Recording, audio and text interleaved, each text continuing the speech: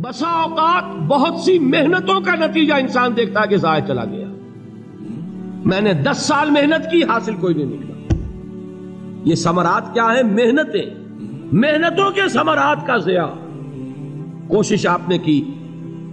किस्मत की खूबी देखी है टूटी कहा कमन दो चार हाथ जब के लबे बाम रह गए। बी प्रिपेयर एक शायर के अशार हैं। वो कम्युनिस्ट था, मैं नाम भी नहीं लेता। लेकिन यह कि ये इसी इनकलाबी, चूँकि उनका भी एक इनकलाबी नज़रिया है। इनकलाबी अमल में ये सारे मराहल आते हैं। कोई सेटबैक आया, फ़र्ज़ कीजिए, कोई नाकामी हो गई तो अपने साथियों को दिल बधाने के लिए ये फ़सल उम्मीदों की हमदम। इस बार भी गारत जाएगी। सब मेहनत सुबह शामों की, अब के भी अकारत जाएगी। मेरे नदी के समरात का जो लफ्ज यहाँ आया है सब मेहनत सुबह शामों की अब के भी अकारत जाएगी धरती के कोनों खदरों में फिर अपने लहू की खाद भरो फिर मिट्टी सेंचो अशकों से फिर अगली रुत की फ़िक्र करो फिर अगली रुत की फ़िक्र करो जब फिर एक बार उजड़ना है एक फ़सल पकी तो भर पाया तब तक तो यही कुछ करना है एक मकसद है सामने इनकलाब बर्पा करना है एक कोशिश नाकाम हो जाए कोई परवाह नहीं। नेक्स्ट फिर तैयार रहो नाकामी के लिए, ऐसा ना हो। जो अंग्रेज़ी में कहते हो for the best but be prepare for the worst ऐसा ना हो कि दूसरी मरतबा नाकाम हो के बददिल हो जाओ। तुम्हारी हिम्मतें जवाब दे जाए। नहीं। पहले से तैयार रहो कि दूसरी मरतबा भी नाकामी आए तो आए। लेकिन जब तक के कामयाबी हासिल नहीं होती, हमें यह काम किए चले जाए। देखिए, सीरत में आया कि नहीं ये वाक्य? बदर में मुसलमानों को फतह हुई तो ओहद में जक पहुँची के नहीं? सत्तर साहबा शहीद हुए कि नहीं?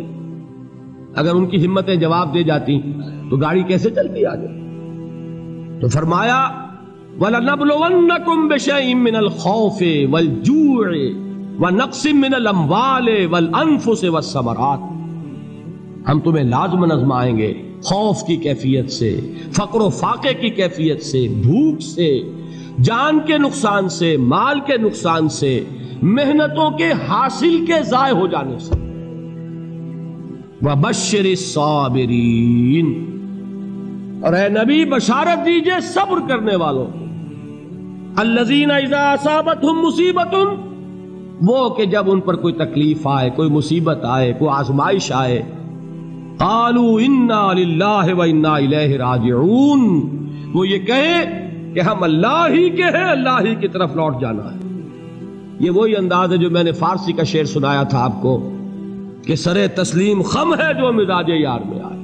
वो हमारा मौला है, हमारा आका है। अगर उसे यही मंजूर है तो हमें भी यही मंजूर मैंने तस्लीम और रजा की बात की थी ना, आपको कुछ शेर सुनाए थे। एक शेर और सुनिए, और ये किसका है? मोहम्मद अली जौहर का। एक मरतबा जेल गए, उनकी एक बेटी जवान बीमार हुई, फौत हो गई। बाहर छोड़ा अंग्रेज़ ने, जाओ भाई, दफन कर दो बेटी को। दूसरी मरतबा जेल गए, दूसरी जवान बेटी उसी मर्ज में मुबतला हुई।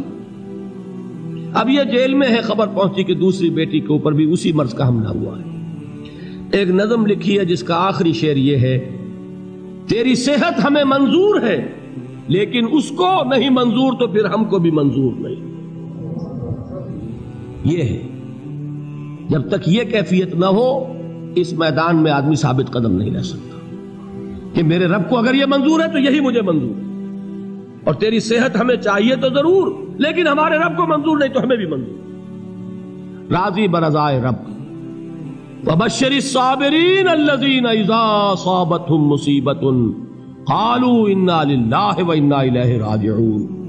न शबद नसीब दुश्मन के शबद हला के तेगत सरे दोस्ता सलामत के तू खंजर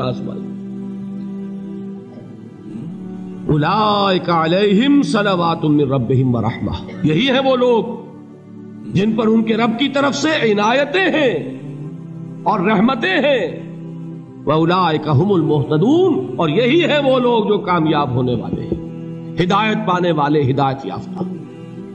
इसी सूरह बकरा में जरा आगे चलकर, ये तो है बीसवा रुकू, उन्नीसवा रुकू। इक्कीसवें रुकू की पहली आयत है, लैसल बिर्रान तुवल्लु वजूहकुम क़िबल अल मशरिक़ वल मगरिब, वलाकिन अल बिर्रा मन आमन बिल्लाहि वल यौमिल आखिर वल मलाइकति वल किताब वन नबिय्यीन व आतल माल अला हुब्बिही ज़विल क़ुरबा वल यतामा वल मसाकीन व इब्न सबील व फिर रिक़ाब व अक़ाम सलात व आत ज़काह वल मूफून बिअहदिहिम इज़ा आहदू वस्साबिरीन फिल बासाए वहीन अलबास अब ये आयत जो है सूरतुल असर में जो मदामीन आए थे सारे इसमें मौजूद हैं वहाँ ईमान का लफ्ज आया यहाँ पाँच ईमानियात की तफसील आ गई अमाल की तफसील आई। और आखिरी बात वहाँ क्या है? वह तवासब सब्र और यहाँ क्या है? वह साबिरीन फिल वहीन अलबास और सब्र करने वाले, असल नेकी उनकी है। जो सब्र करें, किसमें? जंग के वक्त। जर्राए बासाए बासा कहते हैं फक्र और फाका। वाहिद आएगा, बास तो उसके मानी जंग। और बासा जमा में आएगा तो फाका, फकर, भूख। और जर्राए जिस्मानी तकलीफ़ जर जिस्मानी तकलीफों में, सब्र करने वाले। फक्र और फाके में, सब्र करने वाले।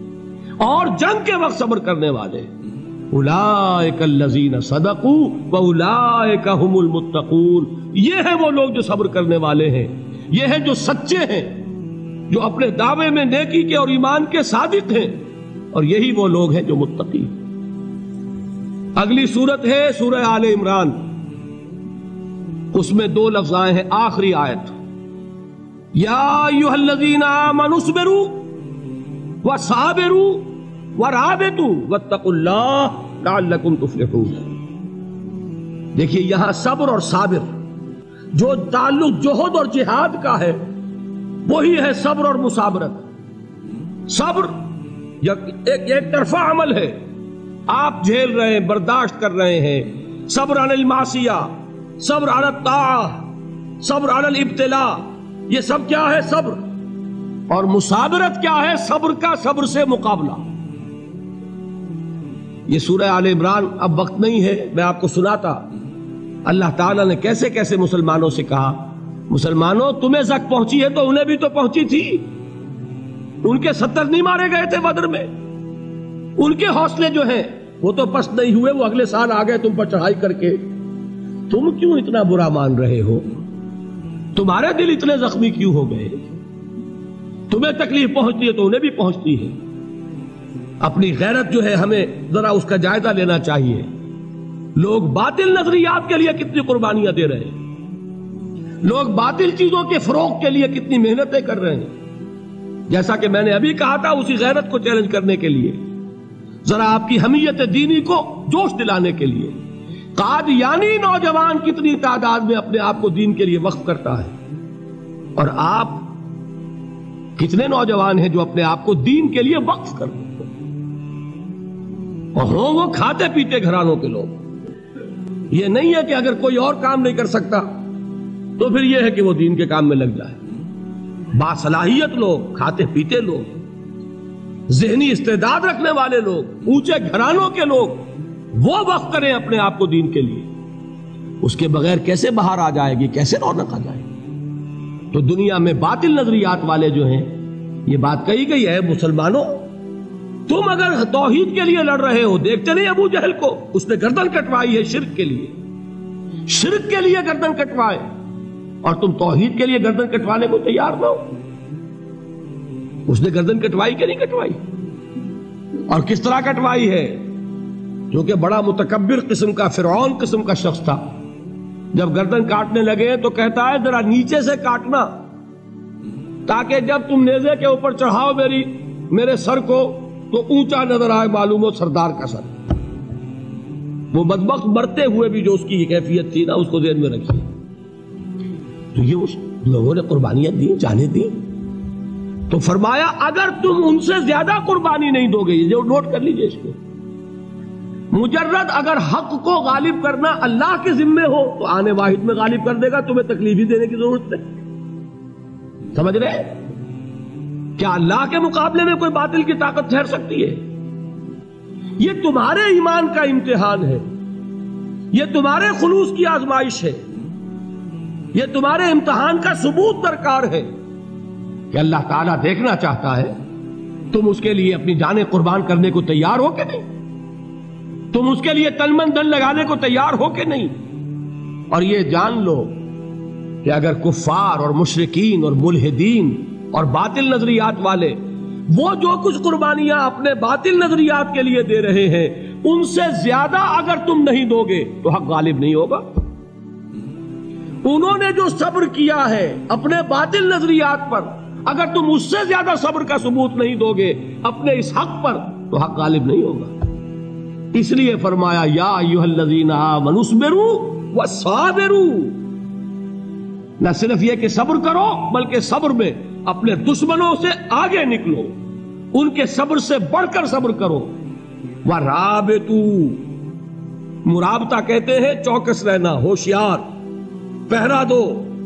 ऐसा ना हो कि दुश्मन जो है, गफलत में तुम्हारे ऊपर कोई हमला जो है कर बैठे। बतकुल्ला और अल्लाह का तकवा इख्तियार करो लाल तुफले हूँ ताकि तुम फला पाओ।